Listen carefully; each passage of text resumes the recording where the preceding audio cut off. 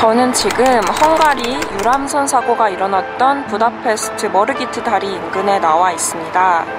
어, 구조 7명, 사망 7명, 실종 19명. 이 수치가 사고가 일어난 시점부터 현재까지 어, 전혀 바뀌지 못하고 있는데요. 이는 실종자를 수색하는 과정에서 실종자의 생사 여부라든가 위치라든가 그러한 정보를 어, 전혀 확인을 하지 못하고 있다는 뜻이기도 합니다. 어, 그도 그럴 만한 것이 지금 다뉴브강의 수심과 유속이 예년보다 굉장히 깊고 빠른 상황이라서 선체를 인양하기에도 그리고 물속으로 들어가서 수색을 하기에도 모두 어려운 상황이기 때문입니다. 지금 유속을 보셔도 굉장히 빠른 것을 확인하실 수 있는데요. 어, 현재 초속 3m 정도로 예년보다 유속이 굉장히 빠른 상태입니다. 이것 또한 사고 며칠 전부터 많은 비가 내렸기 때문에 그 영향으로 인해서 물의 속도가 빨라진 것인데요. 수중 드론으로 그 드론을 물 아래로 내려보내서 배 안에 사람들이 있는지 있다면 어느 곳에 몰려 있는지 이런 것들을 좀 확인을 해보고자 했는데 아무래도 물의 속도가 너무 빠르다 보니 수중 드론을 사용하는데 한계가 있어서 결국 철수를 할 수밖에 없었다고 하는데요. 그래서 오늘 6월 1일은 수중 수색은 어려운 상황이고요. 그래서 수상 수색부터 하기로 한 상태입니다. 그래서 우리나라에서도 해경, 해군, 해난 구조대로 이뤄진 신속 대응팀이 어제 도착을 했는데 헝가리에서 보트를 빌려서 하루에 6번 최대 50km까지 다뉴브강 일대를 수색할 계획이고요. 오늘은 사고 지점에서 남쪽으로 최대 50km 범위까지 수상 수색을 진행할 예정이라고 합니다.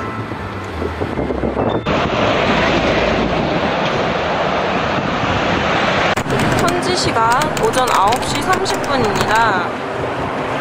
보시면 한국 쪽 인력도 있는 것을 확인할 수 있고 그리고 헝가리 쪽 인력도 지금 임시 선박에서 수상 수색을 준비를 하고 있습니다. 우리 측에서는 인원 12명이 참여를 하고 헝가리 측에서는 4명이 참여를 하는데요.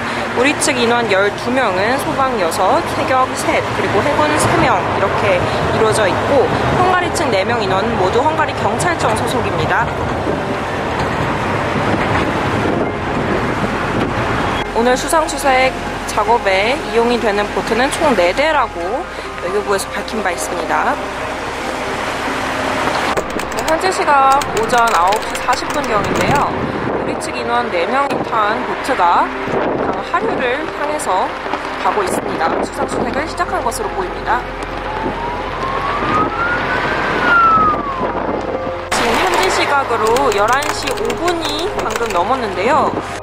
지금 개인적으로 놀란 점은 헝가리 시민분들이 굉장히 이번 유람선 사고에 대해서 많은 관심을 가지고 계시다는 점인데요. 어, 사실 1차 수색은 오전 11시에 종료가 되는 걸로 예정이 돼 있었는데 지금 그 예정 종료 시간이 넘었는데도 불구하고 굉장히 많은 시민분들이 머르기트 자리, 머르기트 다리 위에 남아서 현장을 지켜보고 계십니다. 지금 현지 시각 오후 5시를 향해서 가고 있는데요. 오전에 이어서 정부의 신속 대응팀과 헝가리 당국이 협력해서 구조 수색 활동을 벌이고 있습니다.